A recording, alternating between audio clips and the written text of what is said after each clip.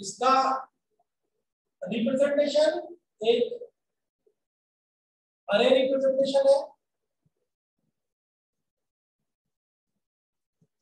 दूसरा link representation है।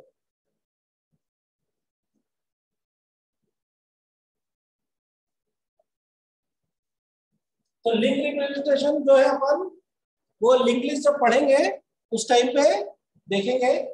अभी अपन बात करते हैं किसके बारे में? अरे रिप्रेजेंटेशन की बात। कि अरे के फॉर्म में हम तीन को कैसे रिप्रेजेंट कर सकते हैं। क्लियर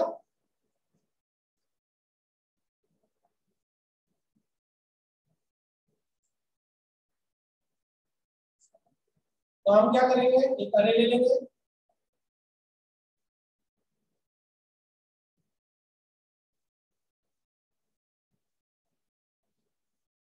इस अरे का नेम होगा, हमने नेम क्या कर दिया इसका? क्यू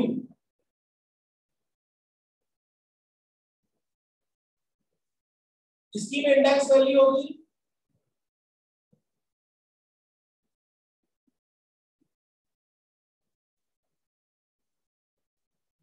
ठीक है? अब यहाँ पर जो होंगी, अपने पास दो चीज़ें होंगी फ्रंट और रियर अभी इनिशियली फ्रंट की वैल्यू और रियर की वैल्यू क्या होगी?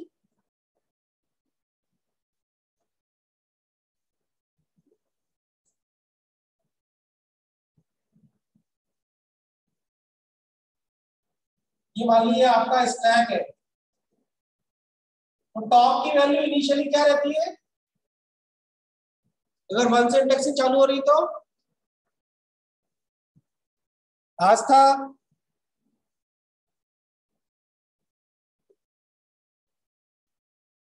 आस्था यस सर हाँ। अगर स्टैक स्टैक में अगर कोई भी एलिमेंट नहीं तो टॉप की वैल्यू क्या होती है?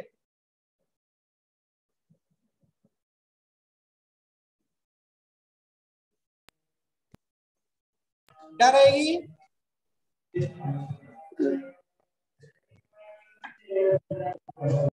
गौरव तुम बताओ।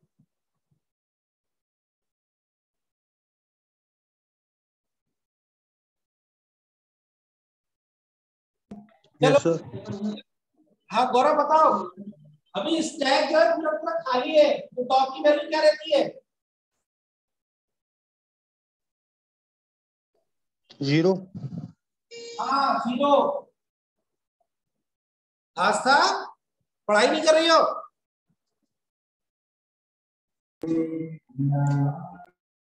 तो यहाँ पर अभी हमारी क्यू बिल्कुल एम्प्टी है। तो फ्रंट की वैल्यू क्या होगी?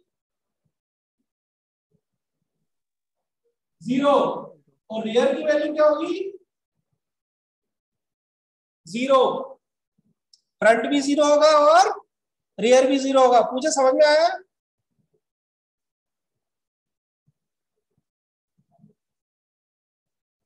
बेटा मेरी वॉइस नहीं आ रही है क्या आपके पास?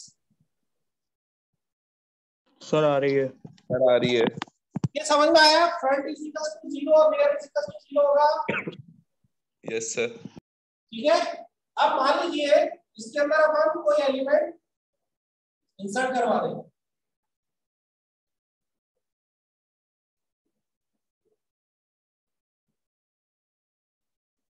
ए आ गया। तो आपका फ्रंट क्या हो गया? Front is equal to one rear is equal to one clear है? यस सर रिस्पॉन्स नहीं दोगे बेटा तो मैं आगे कैसे बढ़ूँगा? क्लियर है ये चीज़? यस सर अब एक और वैल्यू को इंसर्ट करें। तो इंसर्ट कहाँ से होगी? इसके रियर से। ठीक है ना? तो अब यहाँ पर मान लीजिए एक वैल्यू और डाल दिया अपन ने। तो रियर की वैल्यू क्या हो जाएगी? रियर प्लस वन यानी कि रियर किस पे आ जाएगा? टू पे आ जाएगा। एक वैल्यू और इंसर्ट कर दे अपन तो क्या होगा? वो वैल्यू कहाँ पे आएगी? थर्ड नंबर पे आएगी। तो rear is equal to rear plus one rear आपका यहाँ पे आ गया। अब रेयर की वैल्यू क्या हो गई? थ्री एक वैल्यू और इंसर्ट कर दे अपन तो क्या होगा? रेयर आपका यहाँ पर आ जाएगा। तो रेयर की वैल्यू क्या गई? फोर क्लियर है?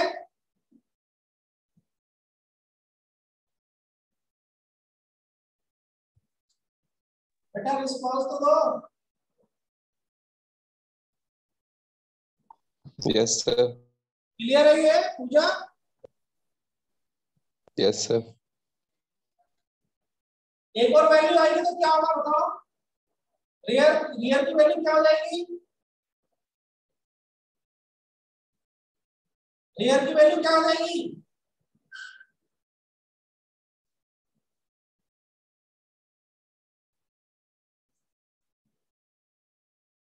एक वैल्यू और इंसर्ट कर दी मैंने ई रियल की वैल्यू क्या होगी? Gaurav five five sir five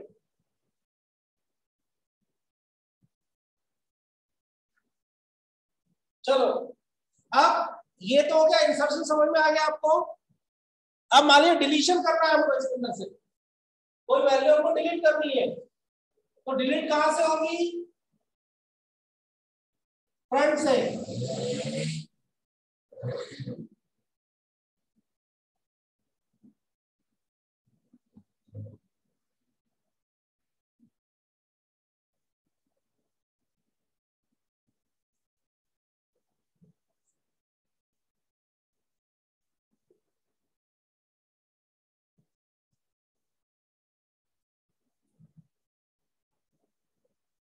तो थोड़ा बड़ा बना देता हूँ ताकि आपको समझ में नहीं आ रहा है।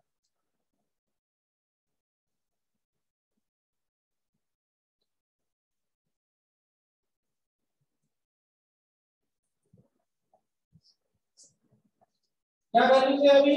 A B C D E ठीक है? फ्रंट कहा है आपका? वन रियर कहा है? फाइव अब कोई वैल्यू अगर इसमें से डिलीट करोगे आप तो आपकी फ्रंट की वैल्यू क्या हो जाएगी? मान लो डिलीट हो गया। तो फ्रंट किसको इंडिकेट करेगा? बी को। मतलब इसकी वैल्यू क्या हो जाएगी? टू फिर कोई और वैल्यू डिलीट करोगे तो कौन सी होगी वो? बी और फ्रंट की वैल्यू क्या हो जाएगी? थ्री वो इसको इंडिकेट करने लगेगा। रियर आपका फाइव की फाइव रहेगा, क्योंकि ये हमारा कोई नई वैल्यू इंसर्ट करनी है आपको। एफ़ तो रियर की वैल्यू क्या हो जाएगी? सिक्स अब कोई नई अब आपको डिलीट करना है कोई वैल्यू? तो क्या हो जाएगी? फोर ये समझ में आया?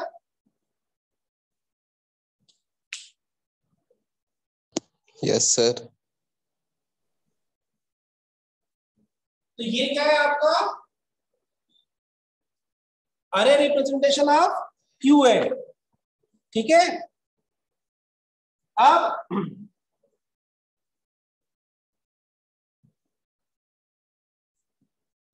इसके ऊपर एक एक्सरसाइज करके देखना चाहूँगा आपको।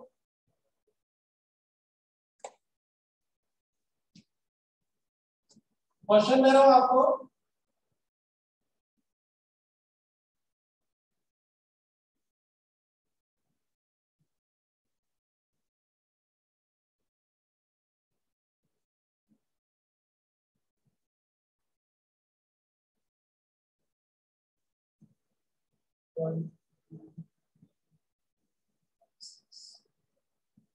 आपको क्यू दी हुई है? ठीक है? उसका साइज़ कितना है? सिक्स है।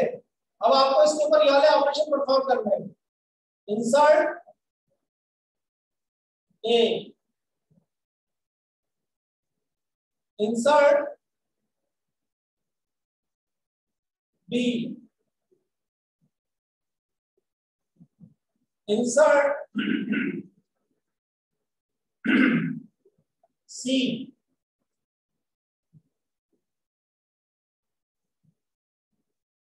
delete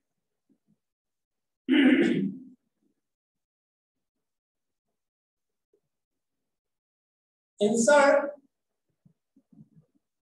D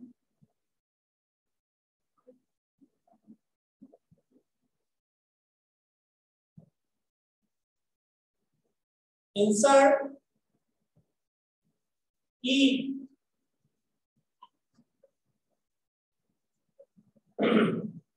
delete insert F